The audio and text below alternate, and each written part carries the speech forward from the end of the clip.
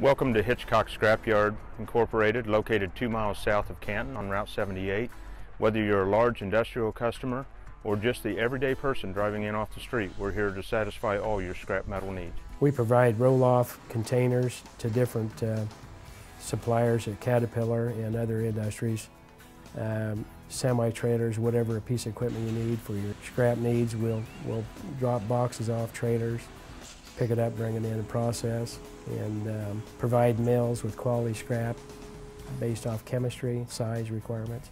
The key to, to generating the dollars is that you have to turn the product back out as fast as it's coming back in. You don't want to hold inventory. You want to change the inventory back out and keep the uh, scrap to the ground. Every mill's got its own specifications on um, uh, chemistry, sizing issues. Uh, we, uh, we bought our new cat shear just for uh, one of the mill's requirements on structural steel. It's a lot faster than our stationary shear. So uh, we purchased it a, a couple years ago.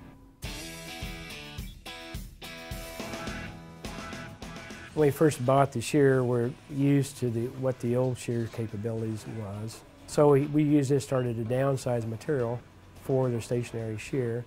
And this thing was so fast that accomplished that job so quickly.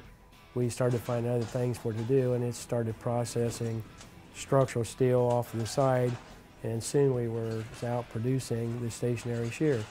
Uh, production went from eight loads a day off the stationary shear to 15, 16 loads a day in the combination, and he still accomplished the downsizing to feed the stationary shear while accomplishing the additional seven, eight loads a day.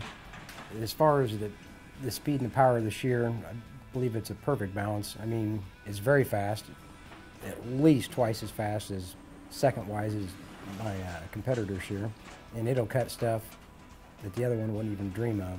As far as production, I mean, it, it, you really can't compare it. It's way better.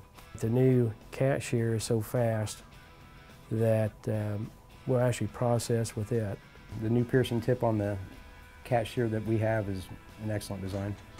No, we use it for piercing plate, I mean, I-beams, you, you name it. Any type of material you run into, I haven't had a problem with it yet. The new design on the on the shear jaw produces so much better because it pulls that material back into the jaw. You don't have to chase material around. If you can get it just started into the jaw, it'll grab it and shear it. When you gotta have a, a piece of equipment on there that you gotta wrestle in order to get it to do exactly what you want and it's not very coordinated, it makes for a long day. But when you got a, you know, an attachment on there that does exactly what you want, as fast as you want, and as accurate as you want, and you can see the results in your tonnage. Absolutely, time is money. Downtime just kills you. So the, the big thing is to make sure you have uptime, which means the equipment has to be running every day. Compared to our old shear, the new shear shines in the just the, the meat of the shear. It is it's strong. We're seeing a lot better tip wear. We're seeing just all, all around just better productivity. On competitor shears, once they start to wear a little bit, I think they're not built quite as stout as the Caterpillar shear. It allows the jaw to flex, and when it flexes, the thinner material will get stuck in between the blades, and it'll jam where you can't open it or shut it. The entire time I've had this Caterpillar shear, I've never been stuck, and I've never experienced that in any other shear I've ever ran.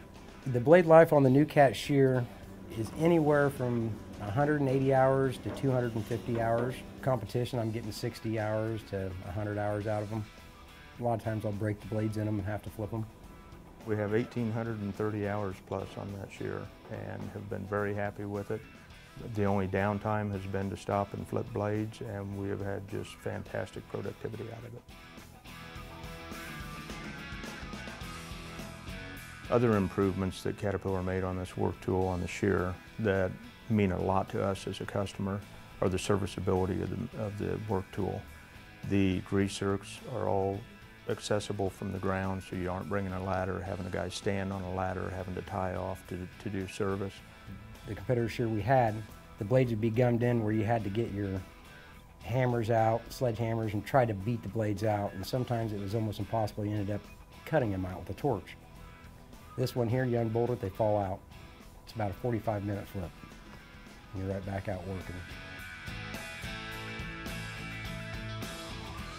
Caterpillar is fantastic at supporting us in training. Our, our dealer will bring people down and show us better ways to run the machines, better ways to use the work tools.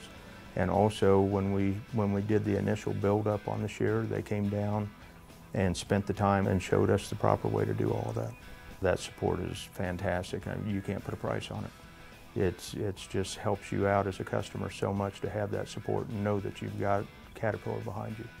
I would definitely recommend a cat shear to another operator. And the it's one of the biggest questions I get, and my answer is to have somebody come run it and they see it for themselves. But as far as I'm concerned, I've ran competitor shears and I've been in the scrap business my entire life. It is the fastest, best shear I've ever ran. I mean, that's what I have to say about that.